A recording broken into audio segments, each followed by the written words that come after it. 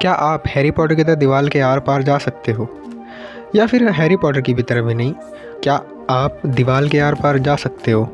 अब जिनको Harry Potter नहीं पता, मैं सिर्फ़ एक मिनट टाइम लूँगा और आपको एक्सप्लेन करूँगा कि क्या है। हैरी पॉटर एक मूवी सीरीज़ है, जिसमें एक छोटा सा कॉन्सेप्ट होता है कि वहाँ पे उन्हें एक डिफरेंट स्टेशन पे जाना होता है, जो कि नॉर्मल लोगों के सामने नहीं होता तो उस स्टेशन पे जाने के लिए उन लोगों को दीवार के आर पार जाना होता है। तो अब मैं ये वीडियो ये बना रहा हूँ कि क्या आप उस तरह दीवार के आर पार जा सकते हो या फिर नहीं? तो शुरू करते हैं। तो अब दीवार के आर पार जाने का देखो यार मतलब क्या है। अब अगर हम दीवार के आर पार जाने जैसे हैरी पॉटर मूवी दिखाया गया तो वो तो जादू से जाते हैं, ठीक है? अब ह्यूमन जादू तो कर नहीं सकते और जादू जैसी कोई चीज़ एग्जिस्ट तो करती है नहीं कि आप गए और ले जादू से पहुँच गए दीवार के आर पार। तो फिर साइंटिफिक तरीका क्या है दीवार के आर पार जाने का? अब आपने ये बात सुनी होगी कि दीवालों के भी कान होते हैं। दीवालों के भी कान होने का मतलब क्या होता है? खैर, ये तो एक मुहावरा है, पर इसका मीनिंग ये होता है कि अगर आप कुछ भी बोल रहे हैं तो आपकी आवाज़ एक दीवार के आर पार भी जा सकती है। नॉर्मल घर की दीवार में अगर आप बोलेंगे कुछ भी तो आपकी जो आवाज़ होगी, वो दीवार के आर पार जाएगी। तो अब अगर हम इसको साइंटिफिक परस्पेक्टिव से देखें तो आपकी आवाज़ दीवार के आर पार गई। इसका मतलब ये है कि आपकी आवाज़ की जो वेव्स हैं, वो दीवार के आर पर गई। क्यों? क्योंकि जो साउंड है, वो एक वेव है। वेव के फॉर्म में साउंड ट्रेवल करता है एक जगह से दूसरी जगह।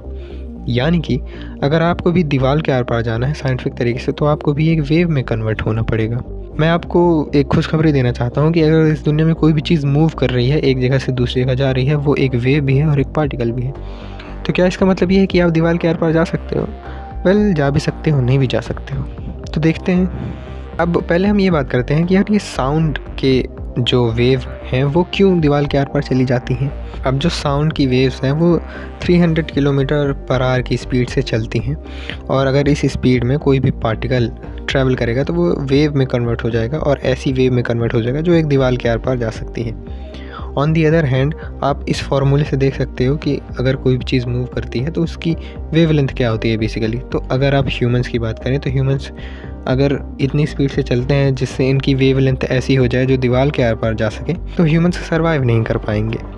तो फिर हम क्या दीवार के आर पार कैसे जाएँगे?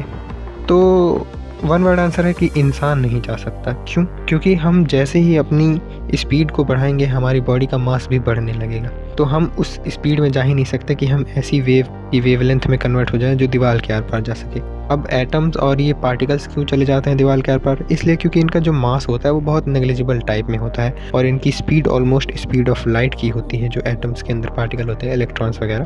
तो इसलिए जो एटम्स होते हैं, वो दीवार के आर पार जा सकते हैं। लेकिन अगर हम बात करें ह्यूमंस की तो ह्यूमंस दीवार के आर पर नहीं जा सकते। तो कैसा लगा आपको वीडियो? ज़रूर बताएँ। अगर आपको इस वीडियो से एक परसेंट भी कुछ नया जानने को मिला तो लाइक करें, जिससे ये वीडियो दूसरे लोगों तक पहुँचे, इस चैनल को हेल्प हो उस चीज़ से। तलाशल टॉक की दूसरी वीडियोज़ को देखने के लिए आप इन वीडियोज़ को देख सकते हैं। Till the next video thanks